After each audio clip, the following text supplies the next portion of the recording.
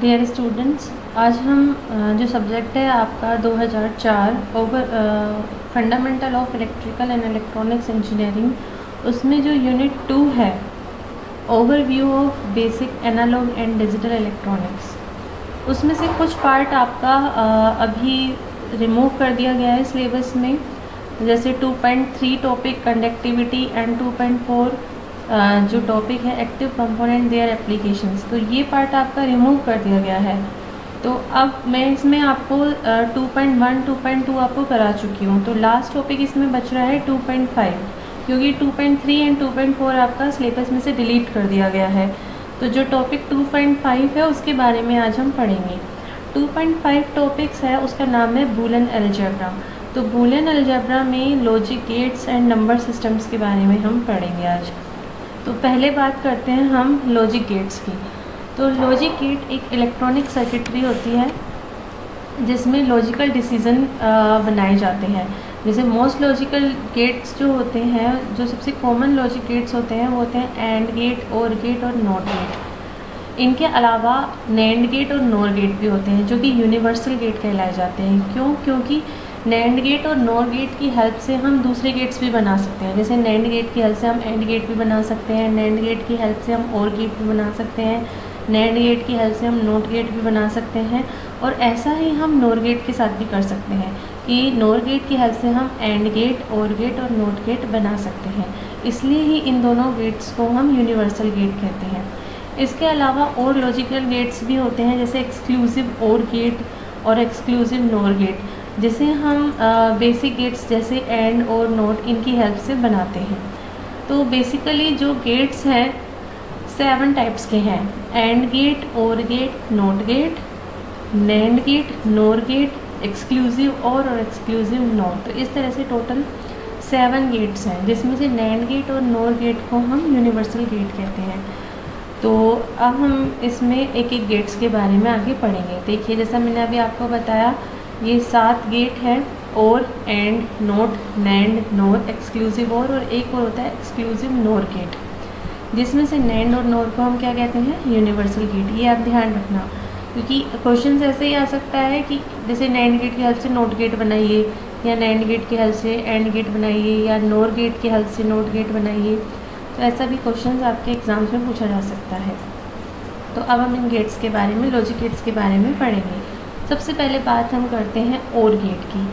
और गेट जो है, यह है लॉजिकल एडिशन परफॉर्म करता है। मतलब जो ये गेट है, उससे हम जो आउटपुट में आता है, वो दो इनपुट्स का सम आता है। मतलब ये लॉजिकल एडिशन परफॉर्म किया, करता है ये गेट इसे हम और गेट कहते हैं। जैसे दो इनपुट फॉर एग्जांपल हम ले रहे हैं ए है एक इनपुट और एक है बी तो दो इनपुट हो गए ए और बी और आउटपुट अगर हम वाई कंसिडर कर रहे हैं तो इसका आंसर आएगा वाई बराबर से ए प्लस बी और इसके अलावा अगर दो से ज़्यादा इनपुट है for example A B C D तो और गेट का आउटपुट जो आएगा, वो आएगा A plus B plus C plus D etcetera मतलब जितने भी इनपुट्स हैं उन सब का लॉजिकल एडिशन हो जाएगा.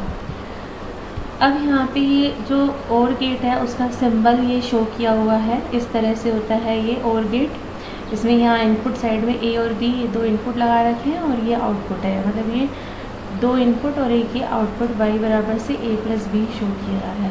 तो ये एक सिंबल है लॉजिकल इस और गेट का। अब ये इसका करेक्टरिस्टिक इक्वेशन बना रखी है। वाई बराबर से ए प्लस बी जो कि अभी हमने बताया कि ये एडिशन परफॉर्म करता है तो इसकी करेक्टरिस्टिक इक्वेशन हो गई वाई बराबर से ए प्लस बी और इसमें ये जो ट्रुथ टेबल बनाई हुई है ट्रुथ टेबल का मतलब होता है कि डिफरेंट अगर ए पर इनपुट क्या है ज़ीरो है या वन है, और बी पे इनपुट ज़ीरो है या वन है तो इसके हिसाब से आउटपुट हमारा क्या परफॉर्म होगा? अब देखते हैं हम यहाँ पे ए और बी जैसे इनपुट दोनों साइड में ज़ीरो ज़ीरो है तो वाई बराबर से क्या आएगा? ज़ीरो आउटपुट भी ज़ीरो ही आएगा. अगर ए पर ज़ीरो और बी पर वन है तो आउटपुट में क्या आ जाएगा? वन ऐसे ही ए पर इनपुट वन और बी पर ज़ीरो है तो आउटपुट में आ जाएगा वन और ए और बी दोनों का इनपुट वन वन है तो आउटपुट में आ जाएगा वाई बराबर से वन तो दोनों हाई इनपुट हैं तो आउटपुट में भी हाई आ जाएगा. और अगर एक भी हाई है तो भी आउटपुट में हाई आएगा. और अगर दोनों इनपुट लो है तो आउटपुट में लो आएगा.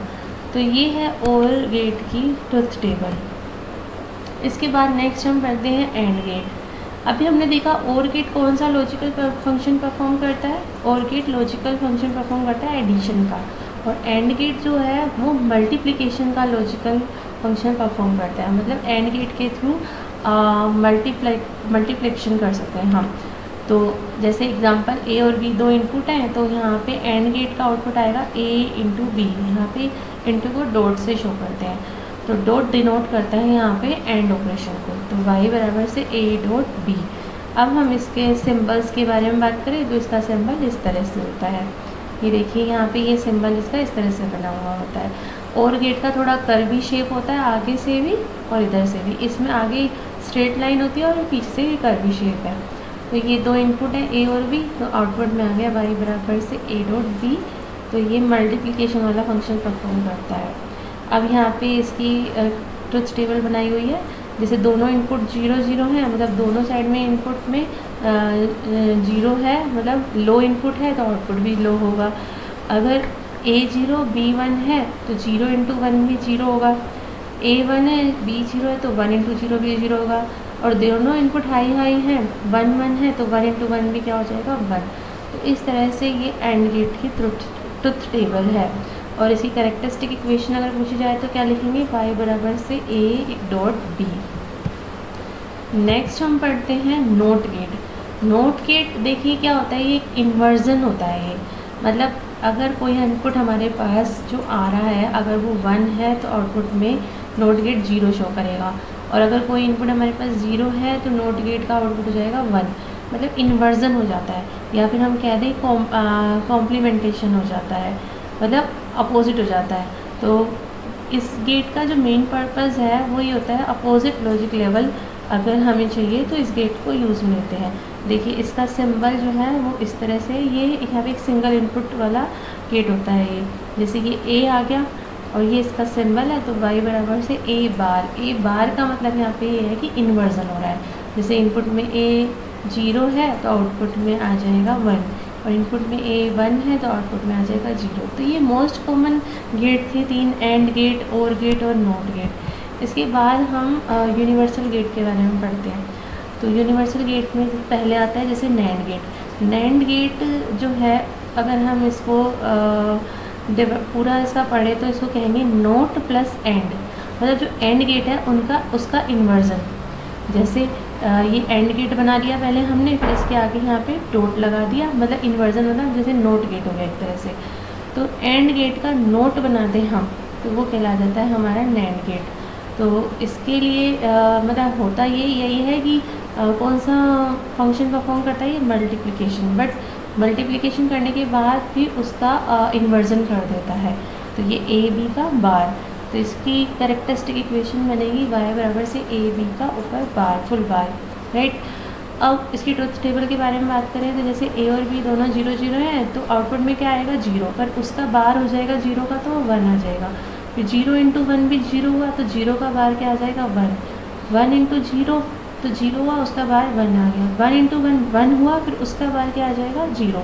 तो ये हो गई नैंड गेट की ट्रुथ टेबल राइट इसके बाद दूसरा जो गेट है, वो है नोर गेट ये भी एक यूनिवर्सल गेट है नोर नोर का मतलब क्या हुआ? नोट प्लस और और गेट बना के अगर हम उसका इन्वर्जन कर दें तो वो कहलाएगा हमारा नोट गेट नोर गेट तो देखिए, जैसे ये सिंबल में आपको दिख रहा है, ये और गेट है, फिर इसके आगे नोट लगा दिया तो ये हो गया नोर गेट तो ये भी यही लॉजिकल फ़ंक्शन परफॉर्म करेगा क्या कौन सा एडिशन वाला, कि वाई बराबर से ए प्लस बी फिर उस पूरे का होल पार कर दे तो वो कहलाएगा हमारा नोर गेट तो यहाँ पे देख सकते हैं आप ट्रुथ टेबल में ए और बी जैसे ज़ीरो ज़ीरो तो ज़ीरो प्लस ज़ीरो ज़ीरो हो गया, फिर इसका बार कर देंगे तो क्या आ जाएगा वन फिर ज़ीरो प्लस वन क्या हो जाएगा वन और वन का बार क्या हो जाएगा ज़ीरो फिर वन प्लस ज़ीरो मतलब वन और उसका बार क्या हो जाएगा? Zero. One plus one one हुआ और फिर उसका बार क्या हो जाएगा? ज़ीरो। तो ये थोड़ा ये हो गया आपके पास नोर गेट की ट्रुथ टेबल। तो अब तक हमने पाँच गेट पढ़ लिए कौन कौन से? And gate or gate, not gate, nand gate, nor gate. इसके बाद आते हैं जैसे एक्सक्लूसिव और गेट की बात करें हम। एक्सक्लूसिव और गेट में क्या होगा? इनपुट दो या दो से ज़्यादा हो सकते हैं और आउटपुट आपका एक ही होगा। अब यहाँ पे और गेट जो है पहले हम और गेट बनाते हैं, फिर उसके आगे ये एक लाइन खींच देते हैं तो ये इसका सिंबल है एक्सक्लूसिव और गेट का। ये हाई स्टेट गेट होता है राइट तो अगर हम इसके कैरेक्टरिस्टिक इक्वेशन के बारे में बात करें तो ये ए प्लस बी तो लिखते हैं प्लस में हम प्लस को एक सर्कल में डिनोट करते हैं यहाँ पे। वो ही कहलाता है एक्सक्लूसिव ओवर गेट अब ए प्लस बी और ये प्लस जो है सर्किल में, इसका मतलब क्या होता है? इसका मतलब होता है जैसे A B plus A B का bar plus A bar B ये अभी आपको याद कर लेना, अभी आपके सिलेबस में से इसमें ज़्यादा मूलन एक्सप्रेशंस नहीं है तो मैं अभी आपको बता देती हूँ, ये ए प्लस बी जो प्लस सर्किल में लग रहा है, इस मूलन एक्सप्रेशन का मतलब क्या है? तो इसका मतलब होता है वाई बराबर से ए बी का बार, सिर्फ़ बी के ऊपर बार नॉट ए के ऊपर बार। तो वापस सुनिए वाई बराबर से A B bar plus A bar B तो अब आप इसको अगर सोल्व करोगे ना तो ये ट्रुथ टेबल आपको समझ में आ जाएगी। देखिए, अब करें हम ए बी का बार। तो इनटू में तो क्या हो गया? ए ज़ीरो और बी का बार क्या हुआ? वन तो ज़ीरो ही हुआ। फिर प्लस ए बार बी तो भी ए ज़ीरो होगा। तो ज़ीरो प्लस ज़ीरो क्या आ जाएगा? ज़ीरो अब अगर हम इसका करें ए बार बी तो ज़ीरो इंटू ज़ीरो हो गया। फिर ए बार बी करें वन इंटू वन ठीक है तो वन आ गया फिर उनका सम हो जाएगा वन तो आप एक बार ये इक्वेशन सुन लीजिए और फिर इसके बाद इसको करके देखना तो ये आपको समझ में आ जाएगा। देखिए ए प्लस प्लस किसमें है? सर्किल में फिर बी इसका मतलब होगा ए का बार बी इंटू में plus A into B bar right तो ये हो जाएगा आपका इस तरह से आ, इसको सॉल्व कर सकते हैं हम। तो ये थे आपके गेट्स थे। And gate nor gate not gate or gate nand gate nor gate और एक्सक्लूसिव और गेट इसके अलावा आपके सिलेबस में एक नंबर सिस्टम्स का और है। तो वो भी मैं आपको बता देती हूँ। नंबर सिस्टम में क्या है आपका? जैसे बाइनरी सिस्टम का है ओनली तो बाइनरी सिस्टम क्या होता है? जैसे अभी तक हम जानते हैं डेसिमल नंबर सिस्टम के बारे में। तो पहले बात करें कि नंबर सिस्टम होता क्या है। देखिए नंबर सिस्टम क्या होता है? जो न्यूमेरिक वैल्यू या फिर हम कहते हैं क्वांटिटी को रिप्रेजेंट करे सिर्फ़ जो सिस्टम है ना? डिफरेंट डिफरेंट सिंबल यूज़ करके। तो उसे क्या कहते हैं हम? नंबर सिस्टम मतलब वो सिस्टम जिसमें सिर्फ़ न्यूमेरिक वैल्यू ही रिप्रेजेंट हो। तो उसे नंबर सिस्टम कहते हैं। अब डेसिमल नंबर सिस्टम क्या होता है? डेसिमल नंबर सिस्टम वो होता है जिसका बेस टेन होता है। मतलब इसमें सिर्फ़ ज़ीरो से नौ तक की डिजिट होती हैं। ये सिर्फ़ ज़ीरो से नौ तक की डिजिट को यूज़ करता है। वो कहलाता है आपका डेसिमल नंबर सिस्टम अब ये पूछता है बेस या रेडिक्स मतलब क्या होता है? बेस या रेडिक्स का मतलब होता है नंबर ऑफ़ डिजिट सिस्टम में। जो नंबर सिस्टम में नंबर ऑफ़ डिजिट यूज़ में ली जा रही है, उसे बेस या रेडिक्स कहते हैं। जैसे आज हम अब अगर हम बाइनरी नंबर सिस्टम के बारे में पढ़ें तो पूछेंगे बाइनरी नंबर सिस्टम क्या होता है? बाइनरी नंबर सिस्टम होता है जिसका बेस टू होता है, क्योंकि इसमें कितनी डिजिट आ रही है? सिर्फ़ ज़ीरो और वन दो ही डिजिट आ रही है तो इसलिए इसका बेस हो जाएगा दो। अब बाइनरी नंबर सिस्टम को हम कैसे लिखते हैं? जैसे फॉर एग्जांपल ये कोई क्वेश्चन है वन ज़ीरो वन ज़ीरो क्योंकि इसमें दो ही क्वांटिटी होती है, दो ही डिजिट होती है, या तो ज़ीरो या वन तो अगर एग्जांपल के लिए हम ले रहे हैं वन ज़ीरो वन ज़ीरो तो इसके साथ में ब्रैकेट में यहाँ पर नीचे जो है दो लिख देते हैं हम। तो दो का मतलब यहाँ पे क्या होता है? इसका बेस होता है। ठीक है, जैसे बेस कह दें या रेडिक्स कह दें तो बाइनरी नंबर सिस्टम को हमेशा इस तरह से लिखा जाता है। जो भी वैल्यूज़ हैं वो, और फिर ब्रैकेट में नीचे की साइड बेस लगा देते हैं टू अब यहाँ पे ये है कि कौन से डेसिमल नंबर को किस बाइनरी नंबर से रिप्रेजेंट कैसे करते हैं? तो ये एक टेबल में बनाया हुआ है। देखिए, यहाँ से शुरू करते हैं हम सबसे पहले ज़ीरो कोई डेसिमल नंबर है तो उसका बाइनरी क्या होगा? ज़ीरो अब वन है तो उसका वन हो जाएगा। राइट अब टू है। अब यहाँ से शुरू होते हैं। दो हैं तो उसको लिखते हैं हम यहाँ पे ज़ीरो वन राइट मतलब वन ज़ीरो हो गया। तीन को लिखते हैं, फिर यहाँ से शुरू करें वन वन फिर फोर को लिखते हैं हम यहाँ से ज़ीरो ज़ीरो वन एक और डिजिट बढ़ गई बढ़ गई। फिर फाइव को लिखेंगे वन ज़ीरो वन राइट फिर सिक्स को लिखेंगे वन वन ज़ीरो फिर सेवन को क्या लिखेंगे one one one one seven तक हो गई सारी डिजिट वन फिर अब एट के लिए फोर डिजिट वाला नंबर हो जाएगा। वन ज़ीरो ज़ीरो ज़ीरो फिर नाइन के लिए क्या आ जाएगा? वन ज़ीरो ज़ीरो वन फिर टेन के लिए आ जाएगा one zero one one one zero sorry फिर इलेवन के लिए क्या आ जाएगा? वन ज़ीरो वन वन अब ट्वेल्व के लिए क्या आ जाएगा? One one zero zero thirteen के लिए one one zero one fourteen के लिए वन वन वन ज़ीरो। एक बार इनको ध्यान से देखो, आपको अपने आप ही समझ में आ जाएगा। फिफ्टीन के लिए क्या हो जाएगा? One one one one. अब देखिए, यहाँ पे चार डिजिट वन हो गई। सारी अब सोलह नंबर लिखना है। अगर हमें तो फिर एक पाँच नंबर वाला सिस्टम लेना पड़ेगा। तो यहाँ पे फिर एक वन लगा दिया, फिर ये सारे ज़ीरो फिर सेवनटीन की बात करें तो वन फिर इधर से वन हो जाएगा। पहला नंबर इधर से वन फिर एटीन की बात करें तो दूसरा नंबर वन फिर नाइनटीन की बात करें तो ये दो वन हो गए। फिर अब तीसरे पे बढ़ेंगे ऐसे बीस इक्कीस बाईस तेईस। यहाँ पे आप अब देख सकते हैं तेईस तक हो गए फिर ऐसे ही चौबीस पच्चीस चलेंगे हम।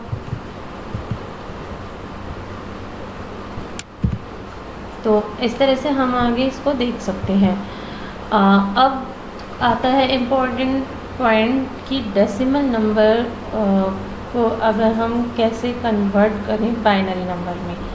ठीक है? तो जैसे ट्वेंटी वन वो ये नंबर है, ये डेसिमल नंबर है ट्वेंटी वन इसको बाइनरी नंबर में हमें रिप्रेजेंट करना है। तो उसके लिए क्या, कैसे करते हैं हम? तो देखिए उसके क्या स्टेप है। सबसे पहले ट्वेंटी वन लिखो, फिर दो से डिवाइड करो। तो दो से डिवाइड करा तो दस आ गया, दो एकम दो और ये ज़ीरो फिर यहाँ पे रिमाइंडर क्या बचा? एक बचा। फिर फिर वापस से दो से डिवाइड करें। दो पंजे दस टू फाइव जो टेन तो कुछ नहीं बचा तो ज़ीरो रिमाइंडर फिर फाइव को करें, दो से टू टू जा फोर फिर वापस एक रिमाइंडर बचा, फिर टू वन जा वन फिर ज़ीरो रिमाइंडर बचा। ये कब तक डिवाइड करते रहेंगे जब तक ये दो से कम ना आ जाए? जैसे ही ये दो से कम आया, आप इसको डिवाइड नहीं कर सकते तो यहाँ पे स्टॉप कर जाएँगे। फिर इधर से हम पढ़ना शुरू करेंगे, यहाँ से। जहाँ रिमाइंडर दो मतलब नंबर दो से कम हो गया तो वन आ गया तो यहाँ से पढ़ना शुरू करेंगे। One zero one zero one तो ये आंसर हो जाएगा। नीचे से ऊपर पढ़ेंगे फ्रॉम बॉटम टू टॉप तो हमारा आंसर आ जाएगा। और साथ में ब्रैकेट में इसको हम लिख देंगे पेस लगा के तो ये हो जाएगा हमारा